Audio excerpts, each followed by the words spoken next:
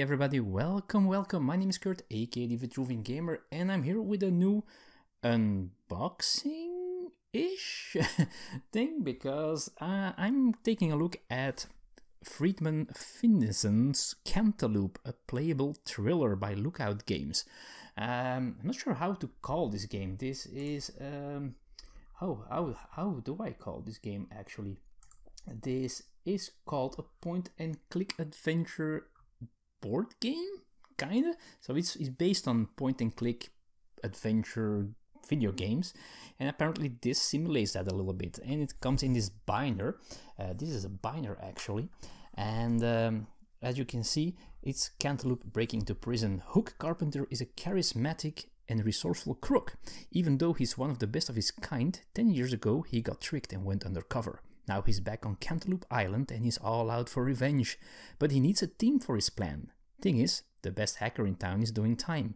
For Hook, that's a minor inconvenience at best. He just needs to break into prison. So this is an interactive adventure series. Well, this is part one.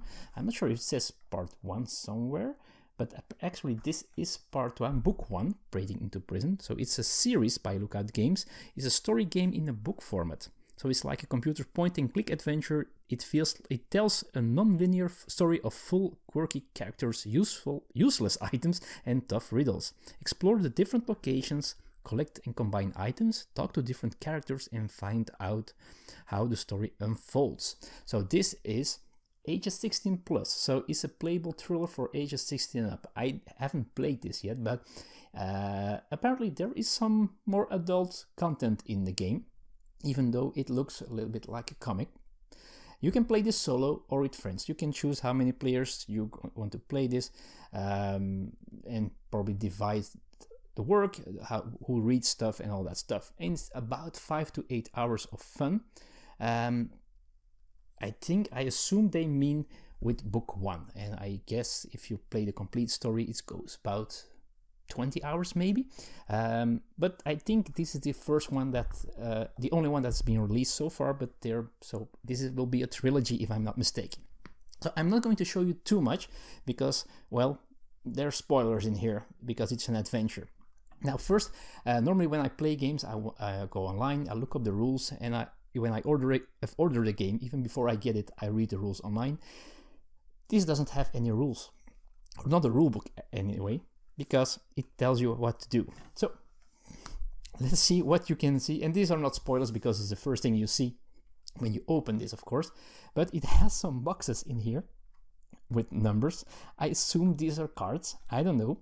Uh, there is a spot here where you can put things in here, maybe some helpful information. Um, I'm not sure what's in here, but as you can see, there are a bunch of things in here. Uh, there is this thing where the, the red decoder thingy that you might know from older games that you can see hidden messages on. Uh, I assume this is in here. I assume these three things are in here. Uh, this kind of a postcard, uh, that red thing, and uh, some kind of decoding thing, or maybe a puzzle. I don't know. But here we have the first page with some more information. And I guess you just go to the first part. And you can pause you can try to read this. Uh, that's your own decision. Um, but it says here breaking to prison. It tells again about the point and click adventures how it works. The components so we have a book we have a double-sided poster a deck of 60 cards a postcard a trigger sheet and a decoder. And then it says do not look at any part of this book the deck of cards and any other components unless explicitly instructed to so there you go. Uh, I cannot show you more. You can see uh, it has some dividers here for parts where you're gonna go. I'm not sure if these are chapters or anything. I don't know. Um, so, um, well, but I'm going to read the prologue. It's just to give you some fluff. So that's not a spoiler because you can see, see for yourself. So you checked the engine and brake lights twice before you left. Old habits die hard. Even now, you catch yourself scanning the sides of the streets and you have to remind yourself to breathe. Being outside still feels strange, but it was time.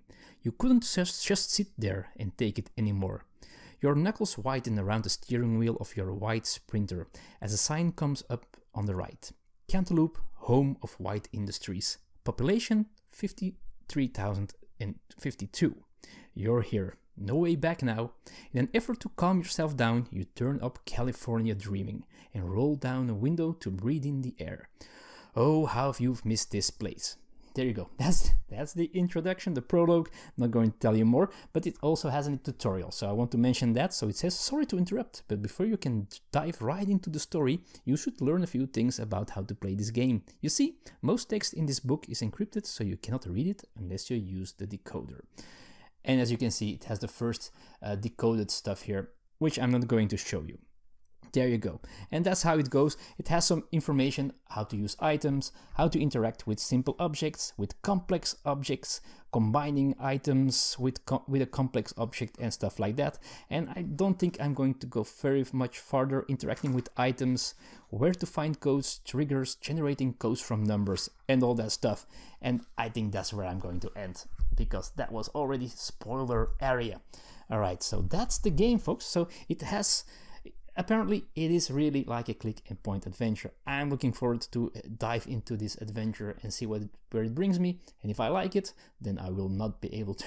Well, I will have to, but I will look uh, forward to seeing the next parts being released. So that's it, folks. Cantaloop, a playable thriller, part one, book one, breaking into prison for you. Thank you so much for watching. I hope you enjoyed it. If you did, feel free to thumbs up if you want to see more in the future. Well, subscribe if you didn't already. And well, thanks again and see you all next time. See you soon. Bye bye.